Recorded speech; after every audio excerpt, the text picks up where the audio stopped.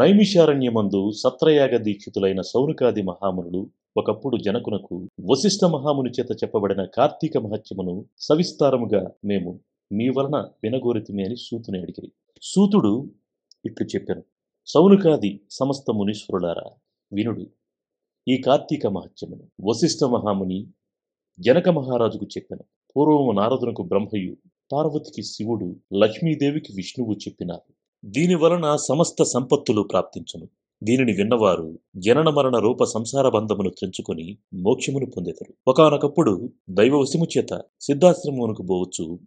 వశిష్ఠ మహాముని జనక మహారాజు గృహమునకు చేరను.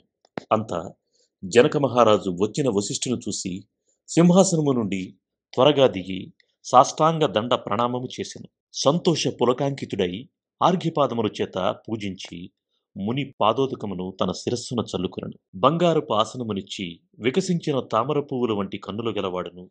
సమస్త జంతువులు ఎందును దయగలవాడును. బాలసూర్య సమాన కాంతి గలవాడును. సమస్త సుగుణ సంపన్నుడను అగు. మునికి భక్తిభావంతో ఇట్లని విన్నవించను. బ్రాహ్మణోత్తమ మీ దర్శనము వలన ధన్యుడనైతని. నేను చేయదగిన పుణ్యము ఇంకేమీ లేదు ఇప్పుడు మా పితృలందరూ తృప్తి నొందినారు. మహాత్ముడు యొక్క దర్శనము సంసారులకు దుర్లభము. కనుక ఇప్పుడు మీరాక నాకు శుభములకు కారణమైనది. సూతుడిట్లు చెప్పాను. తరువాత వశిష్ఠ మహర్షి వికసించిన ముఖము గలవాడై దయతో కూడిన వాడై సంతోషించి చిరునవ్వుతో ఇట్లని పలికను. రాజోత్తమ నీకు క్షేమమగుగాక. నేను మా ఆశ్రమములకు పోవచ్చున్నాను రేపు మా ఇంటి వద్ద యజ్ఞము జరుగును. దానికి ద్రవ్యముని ఇయ్యగోరెదను ఆ రాజు ఇట్లు పలికెను. మునీశ్వర యజ్ఞమునకు చాలా ద్రవ్యముని ఇచ్చేదను.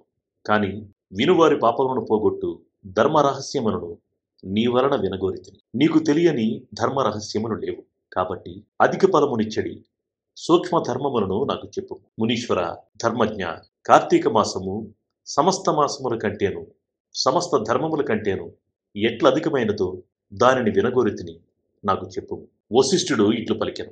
రాజా పూర్వపుణ్యము వలన సత్వశుద్ధి కలుగును. సత్వశుద్ధి కలిగిన పుణ్యమార్గమందు అభిలాష కలుగును. లోకోపకార్తి అయి నీవడిగిన మాట చాలా బాగున్నది. చెప్పేదను. వినుము. వినినంతనే పాపమును నశించు సత్వగుణము కలుగును. రాజా సూర్యుడు తులారాశి అందుండగా కార్తీక మాసములో చేసిన స్నానము దానము అర్చనము మొదలైనవి. మంచి మనస్సుతో ఏమి చేసినను అవి అక్షయములగునని మునీశ్వరులు చెప్పిరి. కార్తీక వ్రతమును తులా సంక్రమణము. సూర్యుడు తులారాశిలో ప్రవేశించుట మొదలుకొని గాని కార్తీక శుక్ల ప్రతిపత్ మొదలుకొని గాని ఆరంభించి నెల రోజులు చేయవలను. ఆరంభమందు ఓ దామోదర నేను కార్తీక వ్రతము ఆరంభించుచున్నాను. దానిని నిర్విఘ్నముగా పూర్తి చేయము అని సంకల్పం చేసి కార్తీక స్నానం ఆరంభించవలను. కార్తీక మాసమునందు సూర్యోదయ సమయమున కావేరీ నది యందు స్నానమాచరించిన వారికి మహాఫలము కలుగుగలదు. సూర్యుడు తులారాశిని ప్రవేశించిన తోడనే మూడు లోకములను పవిత్రము చేయుచు గంగ ద్రవరూపమును ధరించును. సమస్త జలము యందును ప్రవేశించును.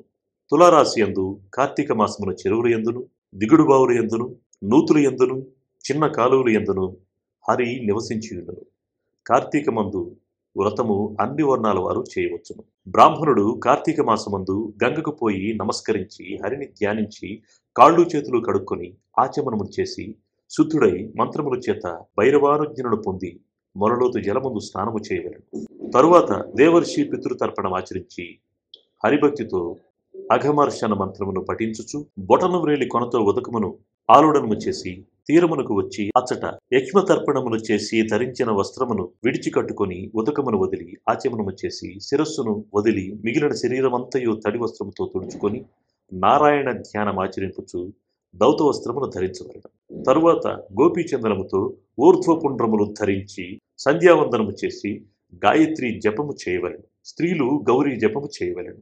తరువాత ఔపాసనము గావించి బ్రహ్మయజ్ఞము చేసి తన తోటలో నుండి పుష్పములు తెచ్చి శంఖచక్రములను ధరించిన హరిని భక్తితో సాలగ్రామమందు షోడోపచారాలతో పూజించవలెను.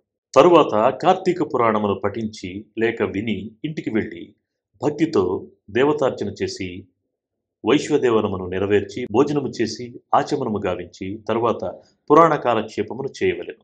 సాయంకాలము కాగానే ఇతర వ్యాపారాలన్నింటినీ ఆపివేసి విష్ణాలయమందును గాని శివాలయమందును గాని తన శక్తి కొలది దీపములు పెట్టి భక్ష్య భోజ్యాదులతో స్వామిని పూజించి వాక్శుద్ధితో విష్ణు స్తోత్రమును గాని శివస్తోత్రమును గాని పఠించి నమస్కారాలు ఆచరించవలయను ఎవడు కార్తీక వ్రతము భక్తితో చేయుచున్నాడో వాడు పునరావృత్తి వర్జితమైన వైకుంఠమును పొందుతున్నాడు పూర్వజన్మార్జితములున్న ఈ జన్మార్జితములున్న సమస్త పాపములు కార్తీక వ్రతమాచరించిన నశించిపోవును. బ్రాహ్మణుడు గాని క్షత్రియుడు గాని వైశ్యుడు గాని శూద్రుడు గాని ఋషీశ్వరుడు గాని స్త్రీలు గాని భక్తి శ్రద్ధలతో కార్తీక వ్రతములు చేసిన ఎడల వానికి పునరావృత్తి లేని వైకుంఠమునందుతురు అనగా మరుజన్మలేని వైకుంఠము సంప్రాప్తించును. ఎవడు కార్తీక వ్రతం ఆచరించినా వానిని చూసి సంతోషించినచో వాని యొక్క పగటి కాలమందు ఆచరించిన పాతకము నశించును. ఇందుకు సందేహం లేదు. ఇది స్కాంద పురాణ కార్తీక మహత్య ప్రథమాధ్యాయ సమాప్తం. ఈ వీడియో కనుక మీకు నచ్చినట్లయితే లైక్ చేయండి షేర్ చేయండి మరిన్ని వీడియోస్ కోసం మా ఛానల్ని సబ్స్క్రైబ్ చేయండి. మీ అభిప్రాయాలు మాకు కామెంట్స్ రూపంలో చెప్పండి. మరిన్ని వీడియోస్ కోసం మా ఛానల్ని సబ్స్క్రైబ్ చేయండి.